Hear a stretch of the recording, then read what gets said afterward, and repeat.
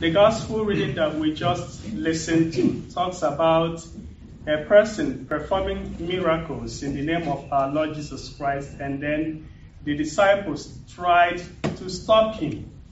And now John relates this incident, this episode, to our Lord. And the response that our Lord gives is very interesting. The response is very instructive. Our Lord says, Do not stop him, for whoever does good in my name cannot turn around and speak ill of me. Whoever is with us is not against us, and so on and so forth. Something stands out in this particular encounter, in this particular episode, and that is the feeling of exclusivity, or you might call it exclusivism. That is what stands out here in this gospel passage, that the disciples have this feeling of exclusivism or exclusivity, that they are the special ones, they are the elect, the select group to whom the Lord had given special powers to cast out demons, to perform miracles, and do wonderful things.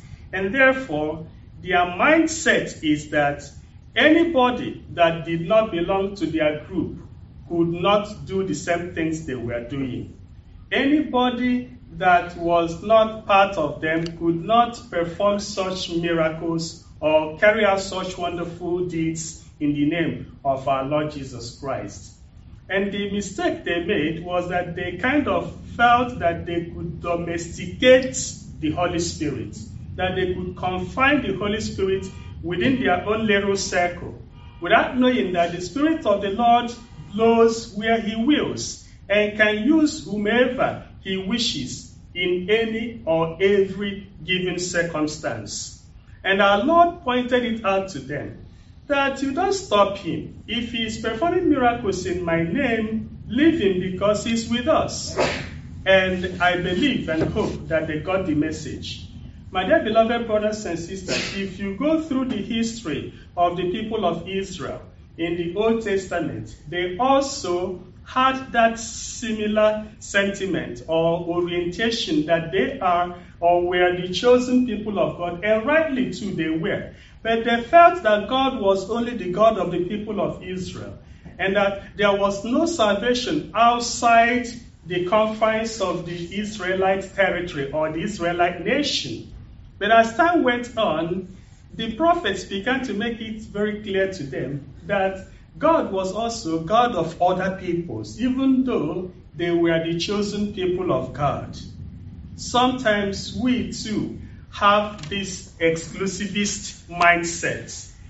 And in fact, there could be the we dimension to this problem and the I dimension to it.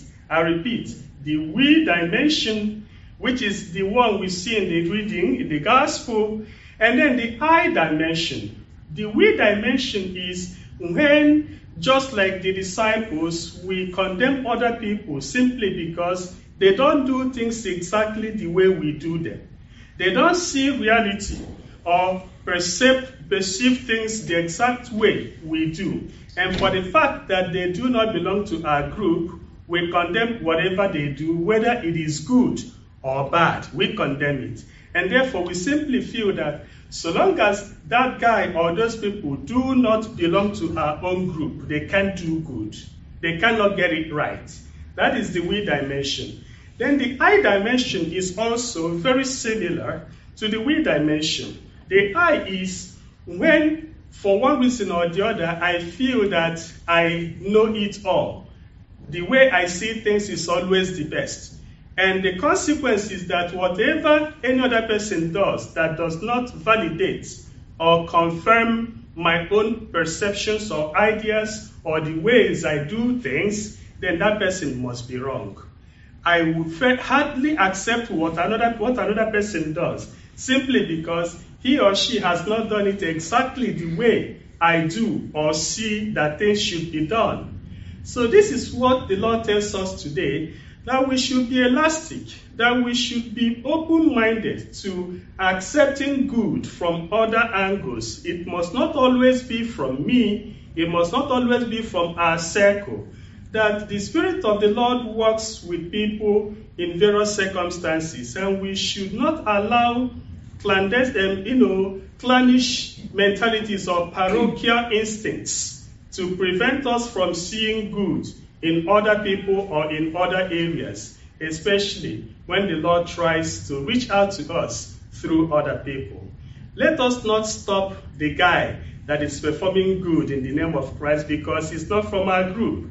Let me stop condemning someone or judging someone doing something good simply because he or she doesn't do it exactly the way I do.